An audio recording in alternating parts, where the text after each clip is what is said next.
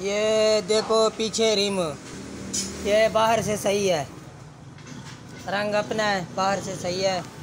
ये केबन तेरे सामने है, ये तो। आपको सब कुछ पता है। ये अपने लिंगोड है, ठीक है। पट्टी मट्टी सही है। ये टू पे नवे मॉडल का। बाकी ये रिंग जो है, ये अंदर से भी साफ़ है वेल्ट मेल्ट नहीं है। ये रिम है, उधर दो पट्टी लगे, ये बाकी साफ़ है।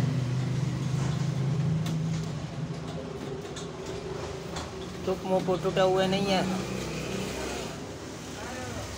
ये रिम दो पासे में ये टिकली लगे हुए हैं। एक ये लगा हुआ है, इधर तक। तकरीबन ये एक फुट के बराबर है और एक की टिकली ये नाली के साथ है। बाकी इसकी भी हाफ़ माप आपने सही है, टूटे नहीं है। ये इसका ये सिस्टम है। ठीक है। ये होजिंग टूटा नहीं है, इधर से इधर से बनाया है ये। नट के लिए जगह बनाया है।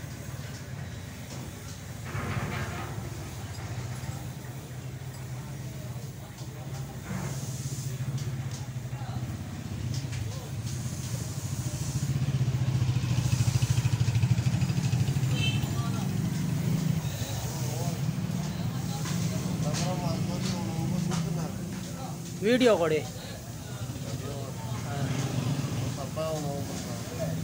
सलेंसर सही है। ब्लेड सही है। मुँह तो इसका है नहीं, बाकी फ्रेम लगे है। ये रिम बाहर से साफ़ है। अंदर से भी साफ़ है।